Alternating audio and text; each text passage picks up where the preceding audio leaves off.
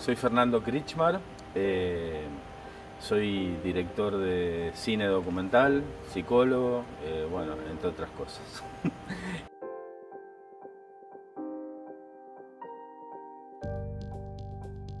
Siempre me metí a estudiar cine, siempre había sido muy cinéfilo, eh, porque había un poco un, un- un punto de resistencia en Rosario a la dictadura, que es donde viví mi adolescencia, era un pequeño cineclub que se llamaba Cine Arteón. Y ahí daban de todo. O sea, incluso he visto Saco y Vanzetti en plena dictadura, he visto películas así.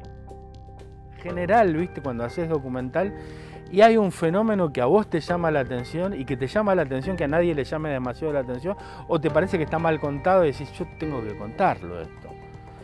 Entonces, bueno, eh, eh, ahí eh, suele ser, digamos, el punto de partida. Muchas veces es más importante el testimonio que la imagen, o si la cámara está prolija o está desprolija. Entonces ahí, ahí tenés una diferencia, si querés, técnica.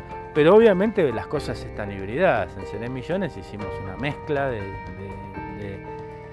de ficción y documental muy, muy pensada desde el primer momento, por justamente los materiales que teníamos de archivo, los personajes que teníamos, eh, los recursos expresivos, que ya los teníamos en este caso a priori, que muchas veces en documental los encontrás a posteriori. O sea, venís acá, lo filmás a él y él resulta que te cuenta que tiene un Super 8, que le pasó la abuela y no sé qué, y después conseguís eso y lo metes en la película que ni sabías que eso existía.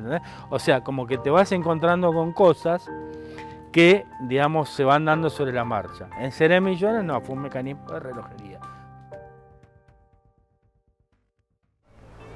Se ha realizado ya un arqueo provisorio respecto a la suma faltante y que coincide en principio con la cifra suministrada por el comando subversivo que ayer atracó este banco y que se eleva a 450 millones de pesos.